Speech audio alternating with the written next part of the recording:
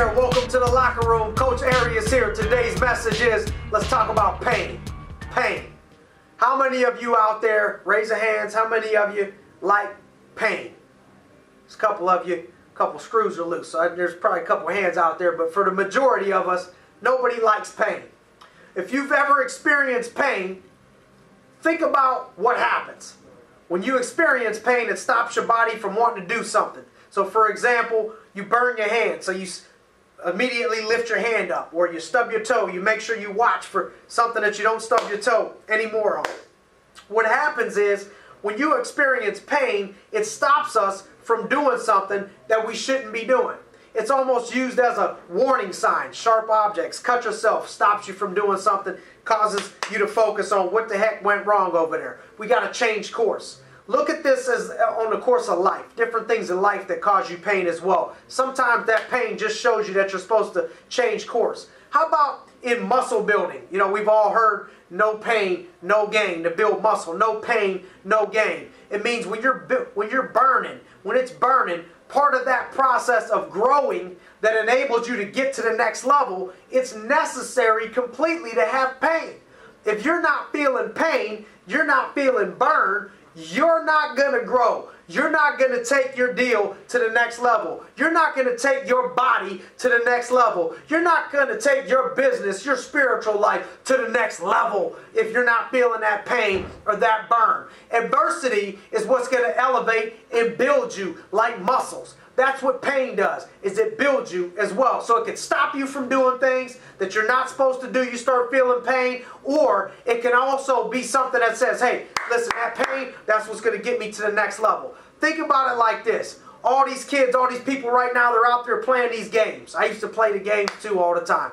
You have to kill something. Like you look, you look at some of these games, you got to beat something or get a coin to get to the next level. You don't get that coin, you can't get to the next level.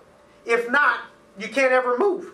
So what happens is in life, there's these things that happen to you that people don't understand sometimes that if we don't get that nugget, that one coin, that little bit, something's supposed to happen, something happened, there's no way we can take it to the next level, just like the game. We've all heard the term that pain is weakness leaving the body. You don't like that one? How about pain is temporary? Pride is forever. I heard a quote saying that in, in my last minute of the hour or the day or the year, there's going to be pain. Pain, you can, you can have pain that lasts a minute, pain that lasts an hour, pain that lasts a day or a year, but eventually it will subside. Something else will take its place. If I quit, however, it will last forever. That's Lance Armstrong. That was a quote by Lance Armstrong. Everything important that will ever happen to you in life is going to involve pain in one degree or another. So we got to get used to accepting it and embracing it. Think about giving birth or ladies out there, shout out to the ladies. It's amazing what you do, giving birth to children and carrying that sucker for nine for nine months. Men, we know we could never do anything like that. Everything that we do important that's ever going to happen in life is going to involve a little bit of pain, one degree or another. But understand, your, your mentality of that pain is going to determine the way that you handle it.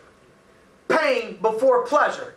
There's always that pain before pleasure. That's the way your mind got to click in. When you feel pain, when you see that pain, if it's not something that mean that means you're supposed to turn around, you're not supposed to go there, sharp object. If it's something that you're supposed to do to take yourself to the next level, just keep reminding yourself, keep telling yourself, pain before pleasure, pain before pleasure, pain before pleasure.